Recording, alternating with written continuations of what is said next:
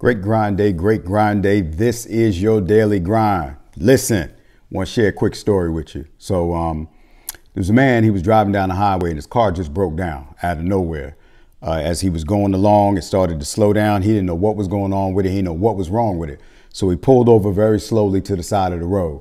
So he sat there in the car trying to figure out what was going on, kept trying to start it back up, trying to, trying to get, trying to in his mind somehow try to think what's going on with the car.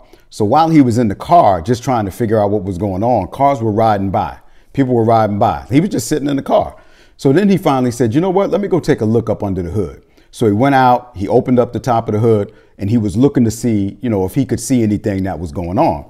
Um, so as he was standing there on the side of the road in front of the car underneath the hood, cars were still going by. People were looking, but they were still driving by. They were still riding by. And so finally, he said, you know what? Let me try and push the car to the exit. Then maybe I can at least get it off the road and maybe get some help. So he went back into the car, he opened the door, and he, as he was holding the steering wheel, he started to try and push the car, push the car. It was super hard. And then as he was trying to push it, people, a couple of people pulled over. They pulled over because they saw him actually pushing the car. And so as they pulled over, one guy pulled up behind him and said, Hey man, would you like for me to bump it, like bump the back of the car with my truck? And then while I'm pushing it with the truck, you can just guide it. And so they did that. And then another guy stopped and said, Look, what can I do to help? And it was about three or four people helping him push the car off the road and got it to the gas station. Now, listen, I need everybody to understand this.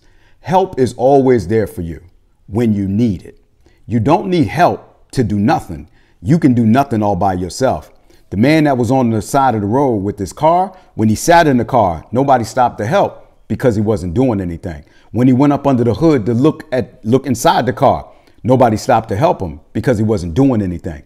But when he physically was making a move and pushing to do something, that's when help came. And that's what I'm saying to you. When you make a move, not when you're thinking about it, not when you're planning about it, but when you actually are working towards something, keyword working, help will come.